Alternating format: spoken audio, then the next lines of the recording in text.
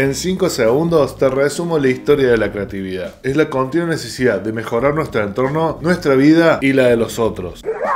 La creatividad de Luis Bassat. ¿Cómo están todos mis creativos favoritos? Bienvenidos a esta nueva reseña. Por si no lo conoces, Luis Bassat es un gran referente de la creatividad. Trabajó en un montón de campañas conocidas y para un montón de marcas reconocidas. Al respecto de la creatividad tiene un montón de planteos súper interesantes. Está llena de anécdotas, historias y todo el backstage de la vida de un publicista que simplemente era inquieto y tenía ganas de hacer cosas. Pero detrás de todo eso hay un montón de conceptos sobre la creatividad súper interesantes para que vos te lleves después de ver este video. Eso es mucho, muy importante. El primer planteo que hace es que es súper interesante es que él no se considera creativo. No nací creativo según Luis Bassat. Eso quizás a vos o a mí nos dé esperanzas si en algún punto no nos consideramos creativos. Si él lo está diciendo con todo lo que pudo hacer, quiere decir que nosotros también podemos llegar a eso. Según Luis, la creatividad no es un don, sino que es una actitud que busca transformar la realidad. Como les vengo diciendo siempre, todos somos creativos. Una aclaración importante que hace este libro que no lo he visto en algún otro libro es que él habla de que la creatividad hay que usarla con prudencia, que puede llegar a usar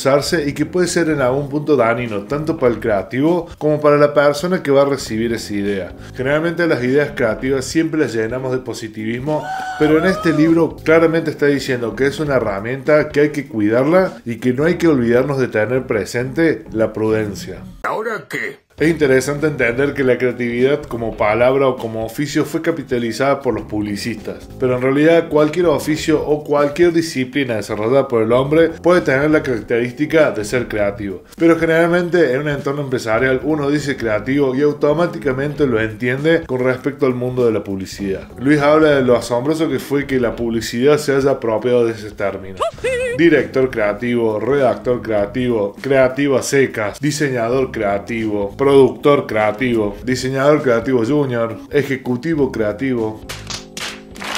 Pero obviamente Luis en algún punto dice que la creatividad no es patrimonio de un oficio, sino que justamente es patrimonio del ser humano y que es nuestra responsabilidad desarrollarlo o no, como cualquier otra habilidad, como cualquier otro deporte, como cualquier otra disciplina. Con esta idea de que él dice que no nació creativo, me parece muy interesante porque él habla de las diferentes características que debe tener una persona creativa y en realidad empieza diciendo que un creativo simplemente es una persona normal con una inteligencia normal. Abajo en la descripción te voy a dejar el video las características de una persona creativa para que lo tengas presente y lo puedas desarrollar más adelante. Quiero confesar que en particular este libro me ha inspirado a hacer muchos otros videos dentro de este canal.